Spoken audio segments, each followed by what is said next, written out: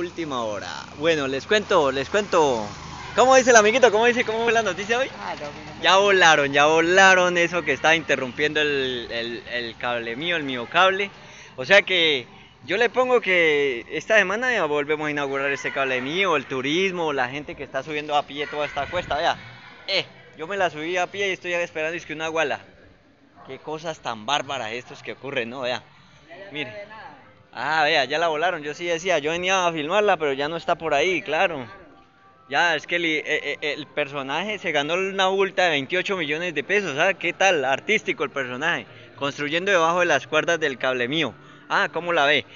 Desde enero estamos interrumpidos con el servicio, pero nos acaban de dar la noticia de que ya volaron eso y le clavaron 28 millones de multa a ese personaje tan, tan, tan, tan inteligente. Gracias, gracias por fin, por fin la administración municipal o la gerencia del cable mío, bueno, qué sé yo, por fin hicieron algo que vale la pena.